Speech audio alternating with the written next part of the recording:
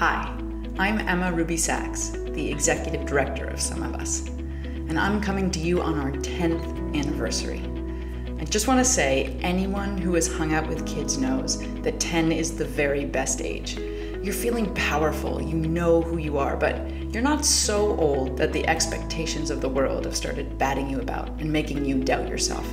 That's kind of where we are right now. We're a movement of over 18 million people who work together to change corporations, their regulators, and governments.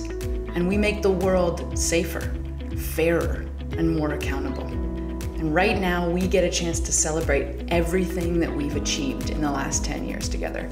It's been incredible, whether it's encouraging individuals to step into the boardroom as shareholder activists and change the course of multinational corporations, or fighting back palm oil deforestation and protecting the habitat that orangutans so desperately need, or wiping forced labor out of supply chains, making sure that the things we buy and use every day aren't made with slave labor around the world.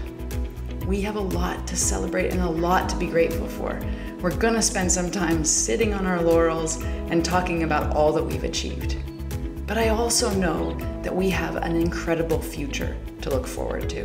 The story of us is just beginning. We can grow as a movement. We can become more impactful and more innovative.